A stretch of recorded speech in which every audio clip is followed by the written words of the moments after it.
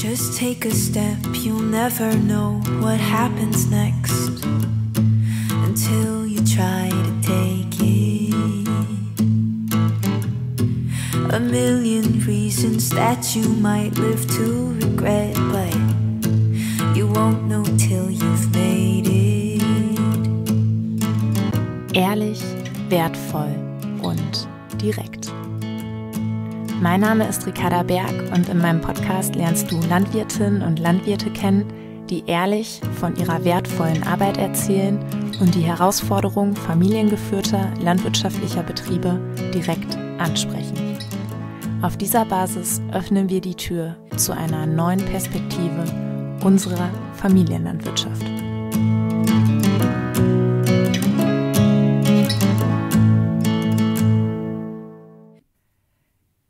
Und herzlich willkommen zu einer neuen Folge von Direkt, Ehrlich und Wertvoll. Heute zu Gast ist Nino vom Kianina Hof. Hi Nino.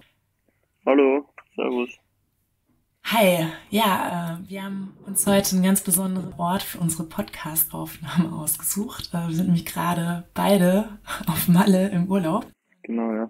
Gott sei Dank mal. Ja, voll. Geht mir genauso. Ähm, wir sind äh, an unterschiedlichen Orten, äh, aber das äh, Internet verbindet uns. Und ähm, ja, ich finde, dann macht's mal gleich viel mehr Spaß. Nicht nur der Podcast, sondern irgendwie auch der Urlaub. Wie siehst du das? Ja, stimmt. Also die, die ganze Umgebung und auch mal die Ruhe, sich mal auch auf, auf den Kopf anzulassen und nicht nur jetzt mit, mit beiden Händen zu arbeiten, ist schon ganz cool. Also mit der Aussicht auch und mal wirklich äh, die Sommersonne genießen und das nicht auf der Weide, wenn man irgendwie äh, den Zaun macht und das hat 30 Grad, sondern echt mal auf den Pool zu springen, das ist schon was Besonderes für mich hier. Ja, cool. Nino, erzähl mal. Du hast ja jetzt gerade schon so einen kleinen Einblick in deinen Alltag gegeben. Wer bist du und was machst du eigentlich? Ja, ja also ich bin der Nino, bin äh, Österreicher, geboren in Graz, also in der schönen Steiermark. Ähm, bin 26 Jahre alt, bin Familienvater mittlerweile. Ähm, wir heiraten auch bald. Also meine Frau, die Shane, kommt aus Deutschland und ähm, habe die dann eingepackt und bin mit ihr auf die Landwirtschaft gezogen von meinen Eltern. Ähm, wir züchten da ganz spezielle Rassen. Also zum einen das Chianina Rind, das ist das größte Rind der Welt und ähm, ja, ein ganz besonderes Rind. Ähm, wir waren da die ersten in Österreich, die damit begonnen haben und ähm, ja, jetzt mit 16 Jahren versuchen wir die Rasse bei uns zu etablieren. Wir haben mittlerweile 50 Rinder. Und ja, seit gut anderthalb Jahren haben wir auch noch Schweine und Schafe. Ähm, bei den Schweinen haben wir so ganz besondere drei Rassenkreuzungen zwischen Schwäbisch Hellisch, Duroc und Iberico ähm, mit einer ganz besonderen Fleischqualität, die wir auf Stroh halten. Die haben mega viel Platz und denen geht's richtig gut. Und dann haben wir eben auch noch die Schafe, äh, die ich aus Frankreich äh, importiert und äh, ja, auch, auch eine ganz besondere Fleischrasse. Also man sieht, Du musst halt irgendwas machen, was die Leute cool finden, was du selber cool findest, damit es auch authentisch ist. Der Direktvermarktung ähm, ist es eben das Wichtigste, dass die Qualität ähm, am höchsten Level ist, weil ähm, so bindest du deine Kunden. Ja, ich glaube, das, das war so mal kurz von mir. Ja, danke schön.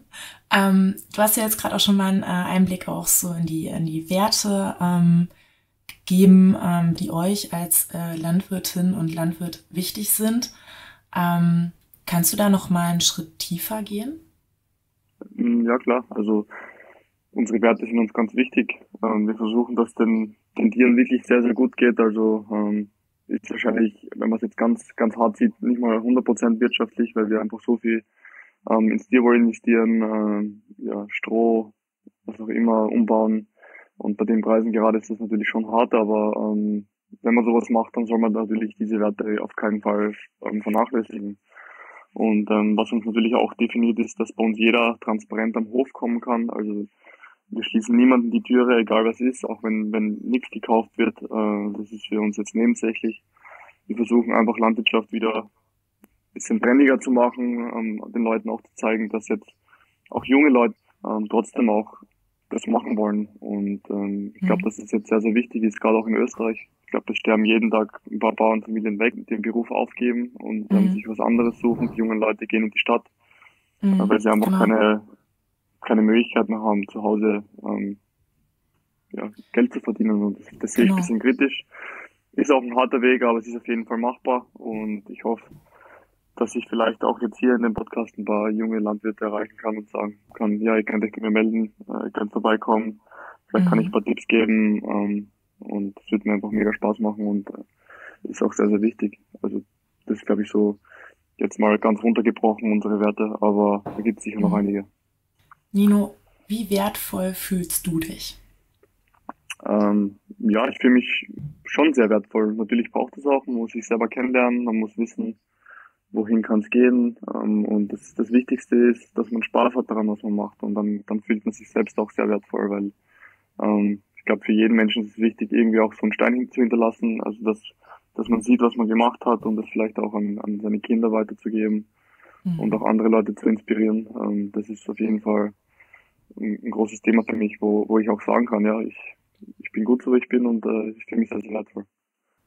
Das heißt, du machst absolut dein Ding, äh, du nimmst jede neue Herausforderung an, ähm, weil du weißt, dass du ja, dass du authentisch bist, dass du deinen Weg gehst und du weißt auch, wofür du es machst. Du hast selbst jetzt eine junge Familie ähm, und, und du stellst deine Tiere, ihr stellt eure Tiere in den Mittelpunkt.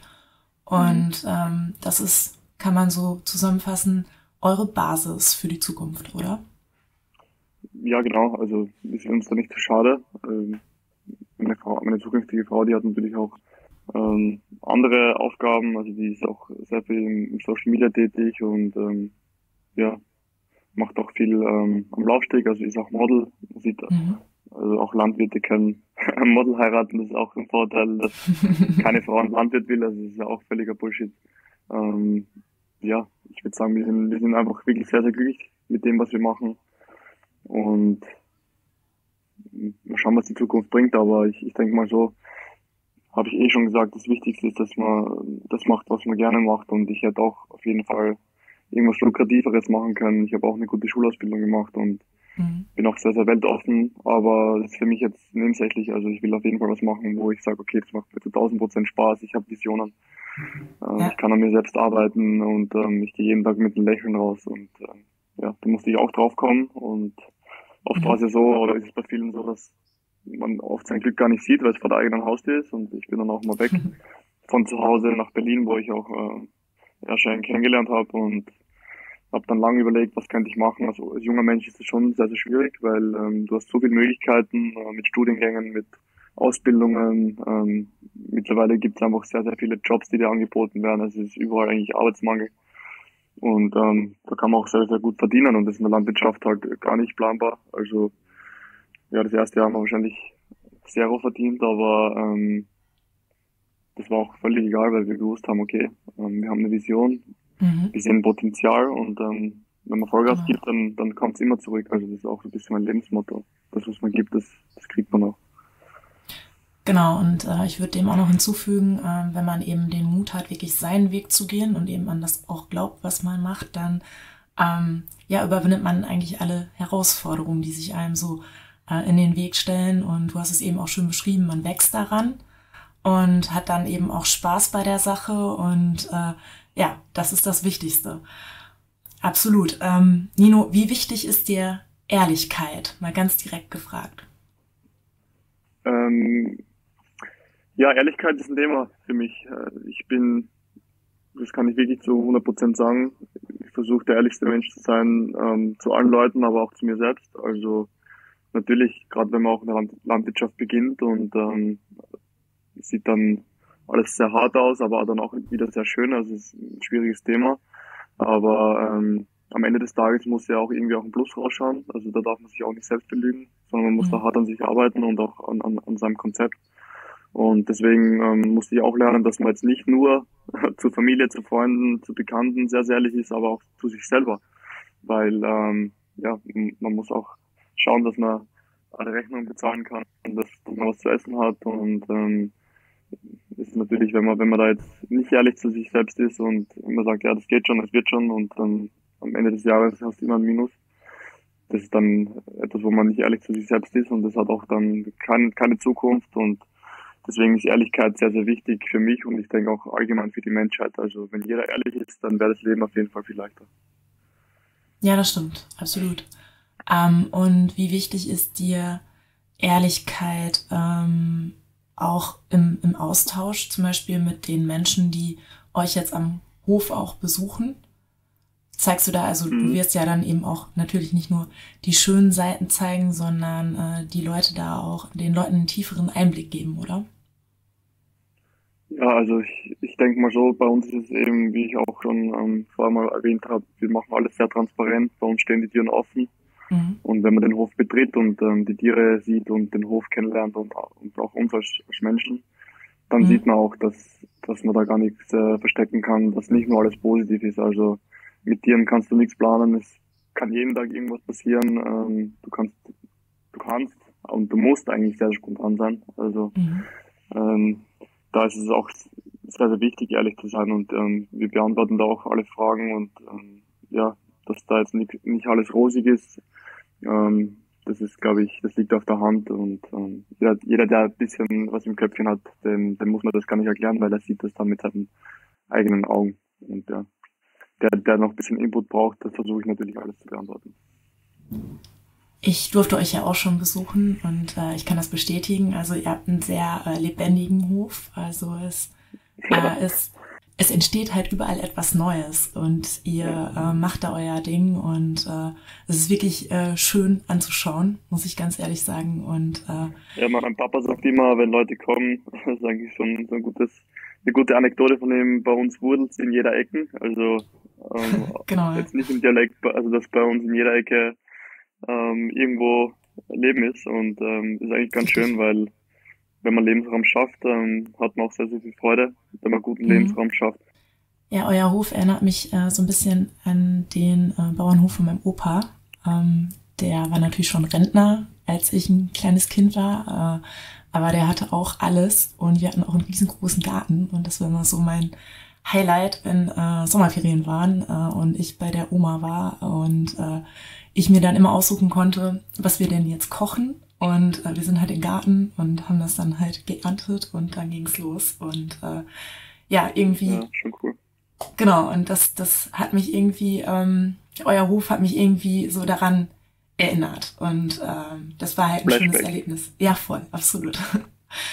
Ja. ähm, also ja. Auch zu dem Thema, jetzt zu dem Bahnhof-Thema, wo, wo es alles gibt, das war auch so ein bisschen unser Ansatz.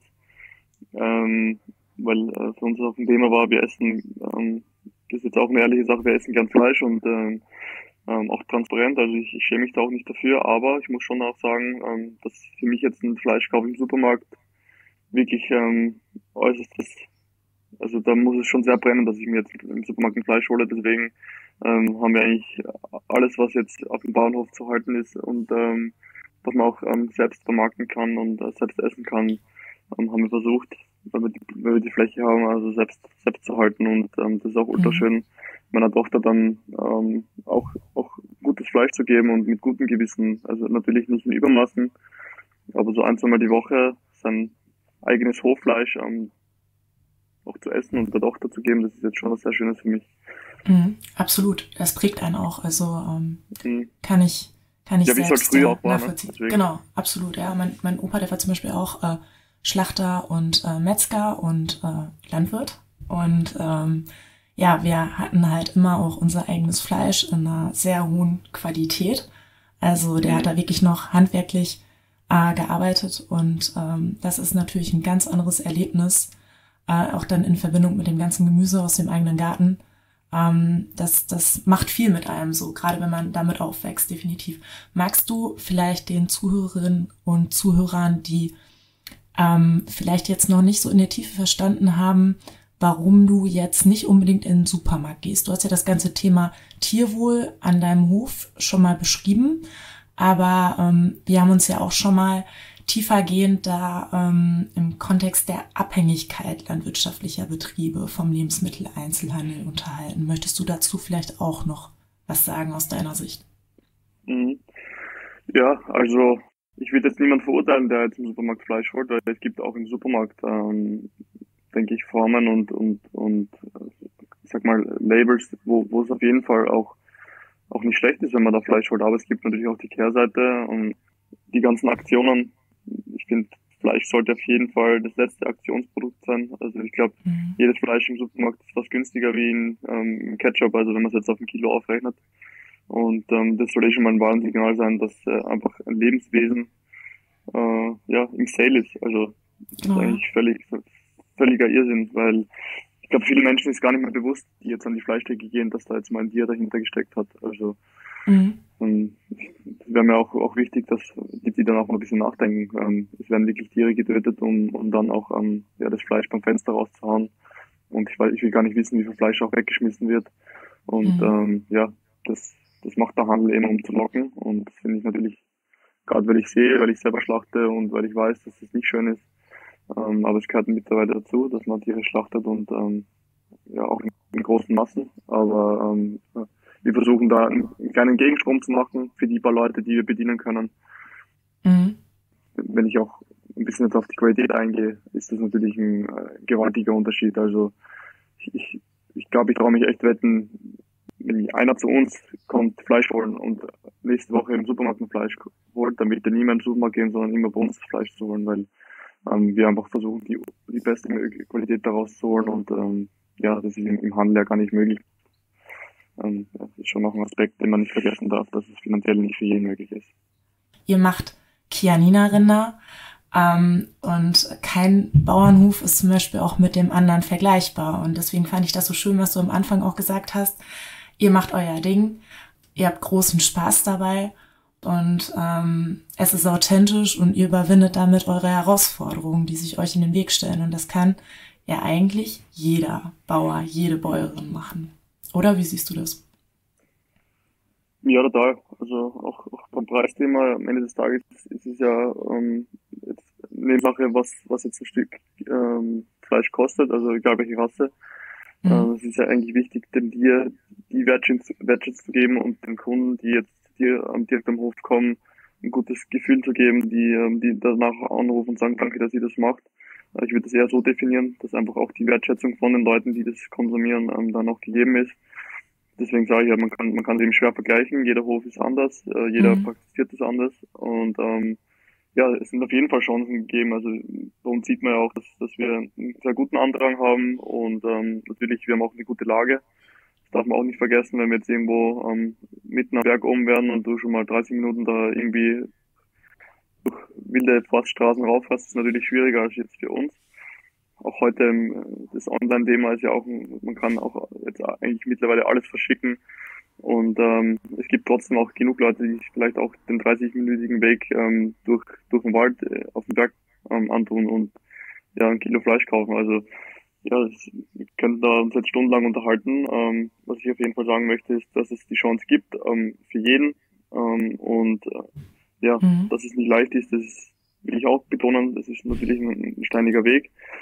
Äh, ähm, aber wenn man nicht beginnt, dann, dann wird man es auch nie wissen. Also äh, genau. Ja. Es ist ja auch ähm, gerade so, was das Thema Wertschätzung ähm, in unserer Gesellschaft betrifft. Es ist ja eine Generationenaufgabe. Wir werden das nicht von heute auf morgen schaffen. Das ist ja klar. Ja, und, und so viel Ehrlichkeit muss halt auch sein. Aber wie du schon sagst, ja. wir müssen anfangen. Und das fand ich auch so schön, das hat die äh, Gabi Mürixmann zum Beispiel auch gesagt vom Aktivstall für Schweine. Am Anfang steht immer die Frage, was will ich überhaupt? Und ähm, wie war das zum Beispiel?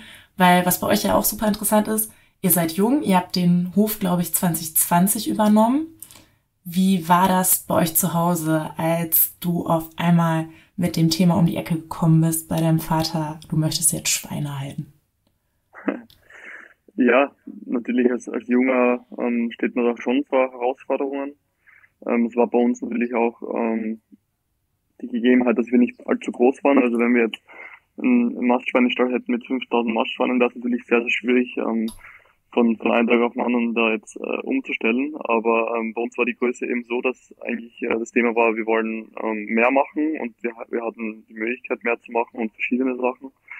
Ähm, und habe das dann meinem Vater auch erzählt, dass ich auf jeden Fall den Hof übernehmen möchte. Das war für mich auch immer klar, aber auf jeden Fall anders. Also wir haben ja, bevor ich, bevor wir das übernommen haben, war das eher ähm, bisschen Hobbylandwirtschaft und ähm, nebenbei und habe ihm dann eben bisschen meine Visionen in langen Gesprächen erzählt und ähm, es war nicht so mhm. ganz einfach, weil er natürlich von vielen Landwirten wusste, dass eigentlich der Weg nicht äh, vorwärts geht, sondern eher zurück, dass viele aufhören und eigentlich ähm, die Möglichkeiten sehr, sehr gering sind. Und ich habe gesagt, Papa, ich sehe da einfach eine riesige Chance. Ähm, wir müssen auf jeden Fall schauen, dass wir mehr Produkte haben, um auch eine gewisse Vielfalt reinzukriegen, mhm. ähm, dass ich mich sehr dafür interessiere, andere Tiere zu halten, dass ich sehr offen bin und ähm, dass es eben auch wichtig ist, ähm, ein anderes Auftreten zu kriegen. Also ich glaube, dass wenn man in der Direktvermarktung ist, muss man ja auch in gewisser Weise eine, ja, eine Brand zu bilden. Also man darf das nicht mhm. vergessen. Also das Auftreten nach außen muss auf jeden Fall stimmig sein. Und ähm, ja, ich habe dann mit viel Überzeugungsarbeit und ähm, ja, auch, auch mit meinem eigenen Willen und das war auch alles mein eigenes Geld. Also mein Papa hat da ähm, nicht für mich bezahlt, sondern mir war das wichtig, alles selbst zu machen. Und ähm, dann hat er auch natürlich jetzt nicht die, die größte Entscheidungskraft, weil ähm, ich habe es einfach durchgezogen und ähm, mhm. ist halt jung und alt ist natürlich schon ein Thema, aber ähm, ja, mein Vater ist ja auch ein sehr offener Mensch und natürlich ähm, mhm. sind mir auch seine seine Werte wichtig und ähm, seine Ratschläge. Ich, äh, doch mhm.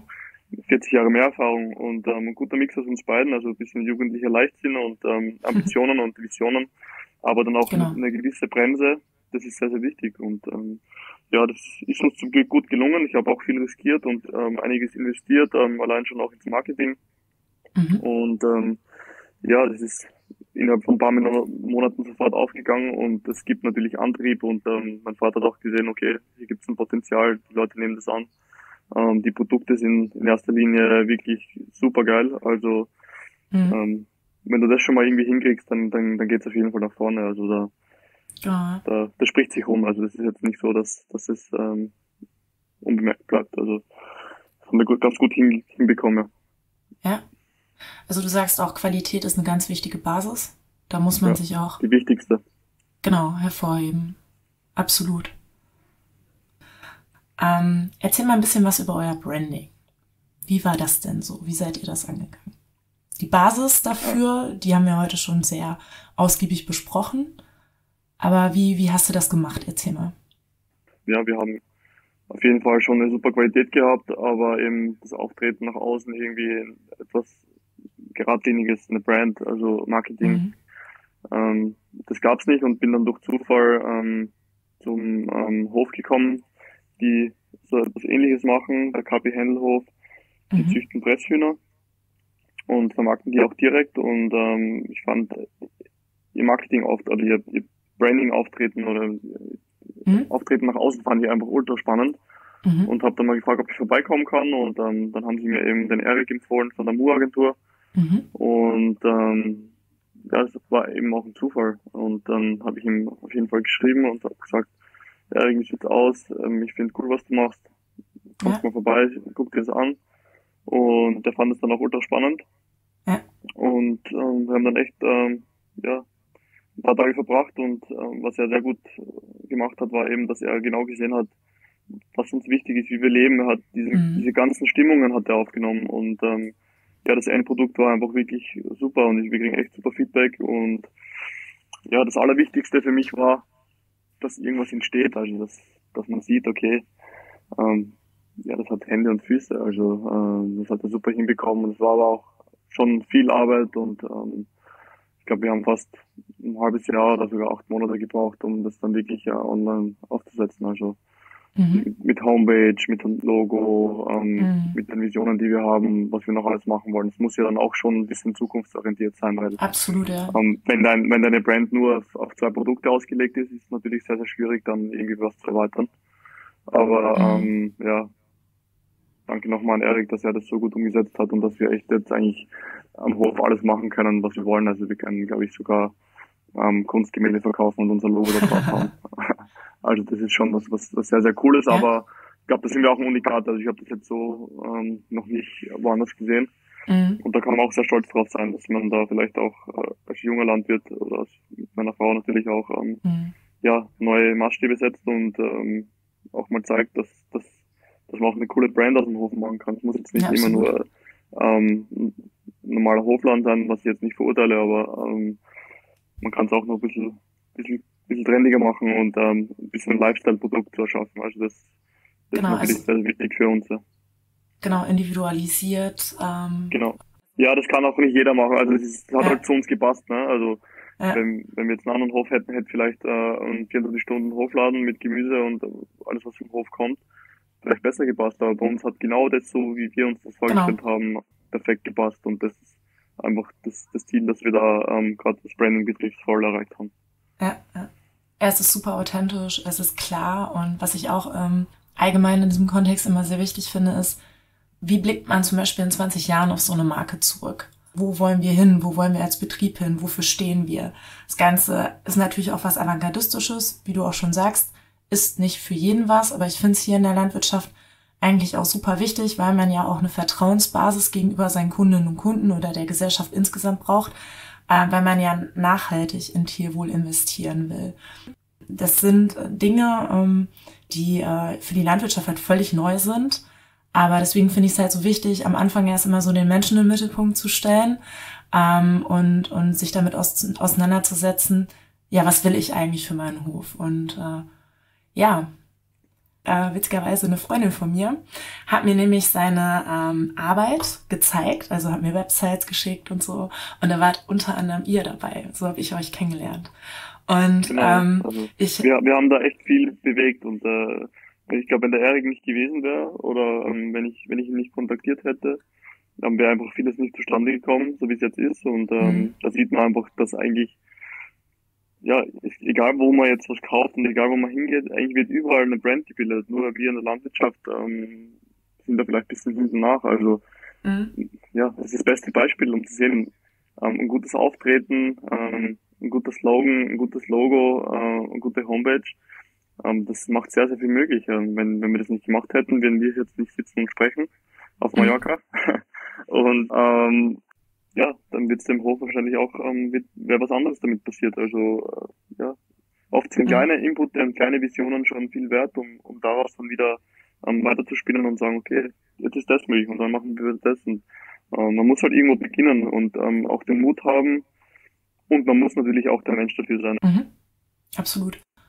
Ich persönlich finde ja äh, die, die Kombi eben von Branding und, und Kommunikation sehr essentiell, sehr wichtig, weil das halt eben auch nochmal das, ähm, ja, die Möglichkeiten aufzeigt, dass das Feld der Möglichkeiten auch immer stets erweitert, weil im Wertedialog ähm, eben auch noch so viel Potenzial eben für neue Wege der Wertschöpfung enthalten sind. Und das ist etwas, was man immer langfristig betrachten muss, wo man aber eben genauso ein solides Fundament halt eben braucht, um auch dauerhafte Beziehungen halt zu seinen Kundinnen und Kunden, aber auch zur Gesellschaft aufzubauen, weil das ist ja die größte Herausforderung ähm, der Landwirtschaft, hier eben auch immer mehr Bewusstsein in der Gesellschaft zu, zu schaffen und den Wert der regionalen Familienlandwirtschaft äh, wirklich auch in unserer Gesellschaft zu verankern.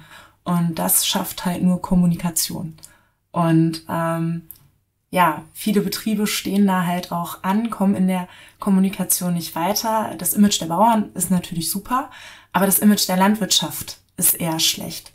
Und, und die Lösung liegt da halt ähm, in der Kommunikation. Aber jetzt einfach so drauf los kommunizieren, äh, ich sag mal so eine ganz klassische PR, ähm, muss man heute schon eigentlich Krisen-PR nennen, die eigentlich gar nichts mehr bringt.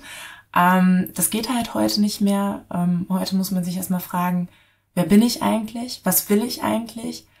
Ähm, wie will ich es verändern? Äh, und dann eben neue Wege auch zu gehen, eine Marke aufzubauen und dann eben auch offen zu sein, äh, mit den Menschen in ehrlichen Dialog zu treten. Und ähm, ja, das, das ähm, reizt mich am meisten, muss ich ganz ehrlich sagen. Das ist so das, was, ist sehr spannend. Voll, was ich so auch an der, an der Landwirtschaft so für mich am spannendsten finde, weil, sagen wir uns ehrlich, wir hätten alle was anderes machen können ähm, mit unserer Ausbildung, hätten in Branchen gehen können, ähm, wo wir viel mehr Geld verdient hätten, ähm, wo wir es vielleicht auch ab und an mal leichter gehabt hätten, aber ähm, ja, Landwirtschaft ist eine Herzensangelegenheit, definitiv. Sonst wird man es ja, total. Also, nicht machen. es ist, ist schon ein schönes Thema und ähm, ich glaube, dass es auch wichtig ist, dass es Landwirte gibt, die versuchen, ähm, das Ruder rumzureißen, ja. die authentisch sind, ähm, wo auch die Vermarktung zu den Leuten, zu den Produkten passt, zum Hof. Richtig, und ähm, wenn man das schafft, dann gibt es auf jeden Fall gute Chancen. Also man muss halt auch wissen, was man selber will. Das ist ein ganz, ganz, ganz wichtiges Thema. Man muss glücklich sein mit dem, was man macht. Mhm. Und dann zieht man auch Glück an und äh, ja, genau, wenn man Erfolg Absolut. will, zieht man auch Erfolg an. Also das ist auch so ein bisschen mein Lebensmotto. Ja. Und ähm, ja, das Wichtigste, was, was auch ähm, in der Direktvermarktung ist, dass man auch einen guten Draht zu seinen Kunden hat. Was ich mhm. merke, also ähm, es hilft mir jetzt auch nichts, wenn ich nur einen Selbstabholungsladen habe. Ähm, könnte auch ja. funktionieren, finde ich, aber ähm, gerade bei uns merke ich einfach, dass die Nähe zu den, zu den, zu den Konsumenten einfach ganz, ganz wichtig ist und dass man auch äh, ein bisschen familiäres ähm, Gefühl aufbaut. Also das ist nicht zu unterschätzen. Also man muss sehr, sehr viele Dinge, Richtig. Dinge, ähm, ja, wie soll ich sagen, berücksichtigen. Ja. Aber genau, wenn man sein Ding macht und daran glaubt, dann meistert man das auch. Es. Ja, ähm, hast du noch was auf dem Herzen? Am Herzen habe ich viel. Ich stehe da wirklich zu 1000 Prozent dahinter und ähm, das ist mein Leben. Ich würde ultra gerne mein Leben auch äh, für den Rest meines Lebens dafür opfern und ähm, einfach mhm. ähm, das zu machen, was mir Spaß macht und auch ein paar andere Leute vielleicht zu inspirieren. Mhm. Ähm, aber auch ähm, ja, das, das Fleischthema ähm, wieder vielleicht ein bisschen positiver zu gestalten, dass man einfach weniger Fleisch isst, dafür vom Bauern und äh, das in sehr, sehr gute Qualität und ähm, ja, gerade mhm. bei uns auch, wir wollen da wirklich viel, viel machen und ähm, ja, mein, mein Ziel ist es einfach, das, das, das beste Fleisch zu produzieren und ähm, mit, mhm. mit den Möglichkeiten, auch für die Tiere ähm, das beste Leben zu haben und ähm, dass die Produkte dann eigentlich wirklich ähm, ein Unikat sind und ähm, da sind wir auf einem guten Weg. Und da freue ich mich echt schon, wo die Reise hingeht. Also ähm, die Türen stehen dann auch offen, wenn man beginnt. Also mhm. muss, man muss sie nur aufmachen. Das machen wir. vielen, vielen Dank, Nino. Es hat super viel Spaß gemacht. Und ähm, ja, ich freue mich äh, auf, auf alles, was bei euch noch kommt und wünsche euch das aller, allerbeste. Und ähm, ich bin wirklich auch sehr glücklich darüber, dass es noch junge Landwirtinnen und Landwirte gibt, die wirklich diesen Beruf wertschätzen, die äh, nicht vergessen haben, ähm, ja, woher wir kommen und, und äh, die ein ganz klares Ziel, eine ganz klare Vision eben auch für die Zukunft haben und alle dabei mitnehmen wollen. Dankeschön. Ja, super gerne. Also mir hat es auch mega Spaß gemacht. Und ähm, ja, mein, mein Ziel ist es auch mit dem Podcast, dass, dass vielleicht auch ein paar junge Landwirte hören und auch weitermachen und ähm, vielleicht kann man da ein gewisses Netzwerk erstellen und ähm, mhm. dass Landwirtschaft wieder cool wird und ähm, dass man auf jeden Fall ähm, das machen kann und glücklich sein kann. Und ähm, im Endeffekt ist es ja auch was das Wichtigste im Leben. Also es muss jeder essen und das heißt ja auch Lebensmittel. Ähm, ja, ja. Genau. Würde mich sehr freuen, wenn, wenn, wenn einige junge Landwirte weitermachen und ähm, ja, einen Weg für sich finden, wo sie auch glücklich sind. Absolut. Dankeschön. Danke dir. ciao, mach's gut. Ciao, ciao. Ciao. Das war ehrlich, wertvoll und direkt. Mehr Infos findest du unter www.ricardaberg.com. Sometimes